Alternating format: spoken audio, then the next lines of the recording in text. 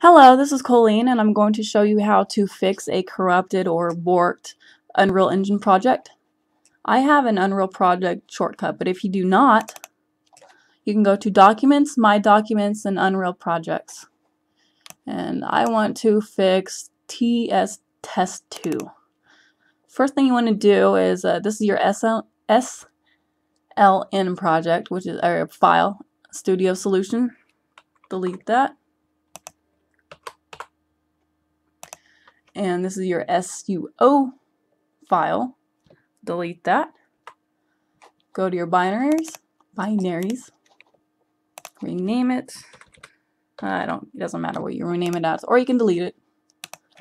Right click, generate Visual Studio project files.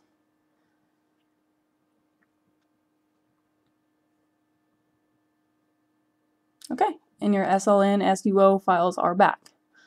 You can also right click on the uh, project file, switch Unreal Engine version. It's already 4.7, but if it was 4.6, you go ahead and, and click 4.7.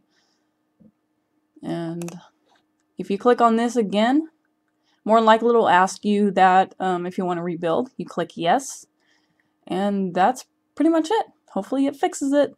Have a good day.